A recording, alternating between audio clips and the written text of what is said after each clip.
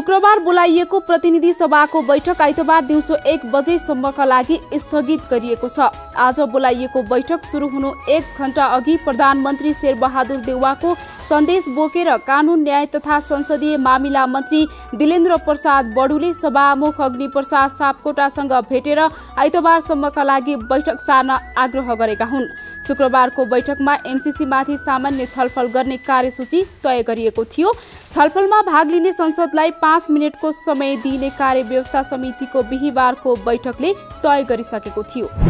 MCC विरुद्ध शुक्रबार पनि विभिन्न राजनीतिक दलका कार्यकर्ताले प्रदर्शन जारी राखेका छन्। राजधानीको नयाँ बानेश्वरमा माओवादी केन्द्रका जनवर्गीय संगठन जबसा मोर्चा संयुक्त जनआन्दोलन समिति लगायतले प्रदर्शन गरेको हो।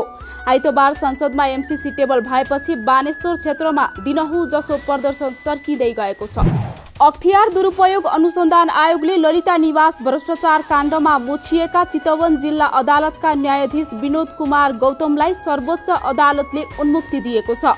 सर्वोच्च अदालतको पूर्ण इजालसले बिहिबार भ्रष्टाचार मुद्दा लागेका न्यायाधीश गौतमलाई अख्तियारले मुद्दा चलाउन नमिल्ने ठहर गर्दै विशेष अदालतमा भ्रष्टाचार मुद्दाको सामना गर्न नपर्ने गरी उन्मुक्ति दिएको हो।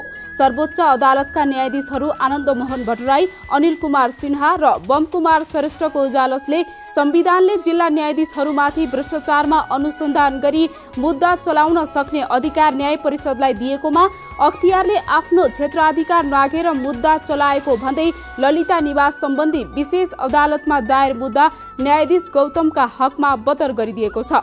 भौतिक योजना तथा निर्माण मन्त्रालयको कानून उपसचिव रहेका बखत गौतमले ललिता निवासको सरकारी जग्गालाई गैरकानुनी रूपमा व्यक्तिका नाममा पुर्याउन भूमिका खेलेको भन्दै अख्तियारले दुई हजार छिहत्तर माघ बाइसमा गौतम सहित एक सय पचहत्तर जना विरुद्ध विशेष अदालतमा मुद्दा दायर गरेको थियो।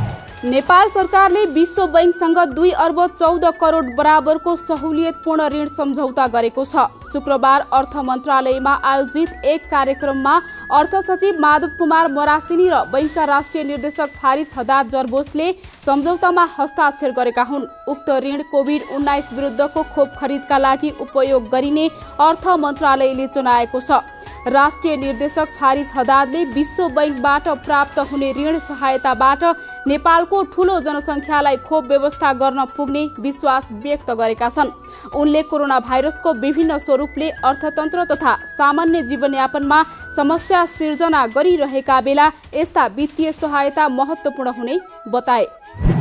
संयुक्त राष्ट्रसङ्घ महासभाको छ्यात्तरौँ सत्रका अध्यक्ष अब्दुल्ला शाहिदले बिहिबार युक्रेनमा शान्तिपूर्ण माध्यमबाट तत्काल युद्ध विराम र विवाद समाधान गर्न आह्वान गरेका छन्।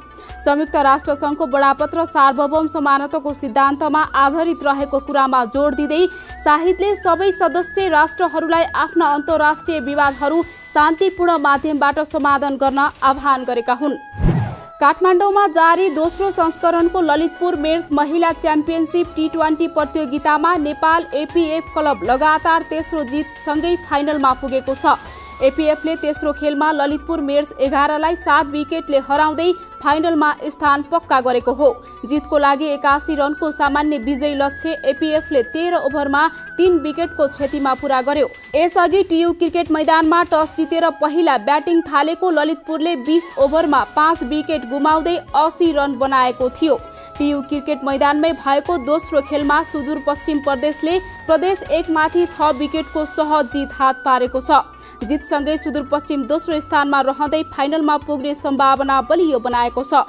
त्रिपन्न रनको सामान्य विजयी लक्ष्य पछ्याएको सुदूरपश्चिमले दस ओभरमा चार विकेट गुमाउँदै पुरा गर्यो। टस जितेर पहिला ब्याटिङ थालेको प्रदेश एकले अठार ओभर चार बलमा बाहन्न रन बनाउँदै अल आउट भयो। सुदूरपश्चिमले शनिबार लुम्बिनी प्रदेशलाई पराजित गरे फाइनलमा स्थान पक्का गर्नेछ।